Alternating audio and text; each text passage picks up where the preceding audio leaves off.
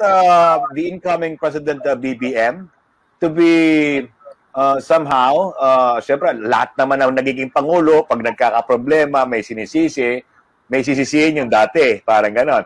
Are you expecting any, if, if not, uh, uh, to say the least, um, criticisms from the incoming uh, presidential uh, President-elect uh, BBM uh, kay, kay Pangulong Duterte, parang ganon. So, are you expecting any of uh, parang sise or something? Another good question. Hmm. President Duterte set a precedent uh, uh, that that you know that uh, really um, uh, veers away from uh, blaming or mm. pointing fingers. Mm. O kasi kasi na, na, si, si Ina was still covering Malacanang. Mm. Mm. Kung sinabi ni presidente na ayaw niya manisi, uh, ma- maraming mga maraming mga sectors society ang gustong kasuhan mm-hmm. si former President Noynoy Aquino because of the Mama Sapano mm-hmm. uh, uh, incident. Pero si Presidente hindi niya ginawa yon kasi hindi mm-hmm. siya bengador. Mm-hmm. Ayaw niyang ayaw niya yung kultura na pinapakulong yung presidente, pinapakulong mm-hmm. yung mga natapos na.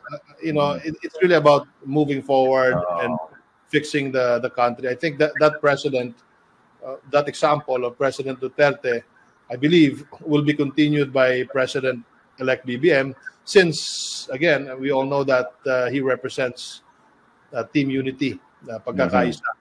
Si uh, President-elect uh, BBM. VP niya ay si Sara. Oh, niya si Sara. So I, I think he will not uh, blame the past administration. He will not uh, point his fingers or finger pointing. He will not do that.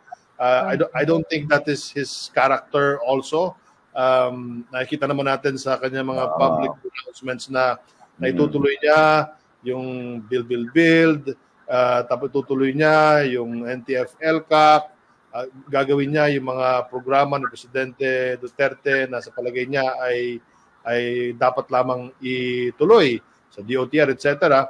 Um, really it's it's about governance if if you focus on finger uh, on pointing your finger to the past administration, then mag- magkakaroon ka ng paralysis sa pagpapatakbo mm-hmm. ng gobyerno. I mean, uh, lahat na tayo, tao lang, Mike and, mm-hmm. and Ina, and we, we can only absorb so much attention.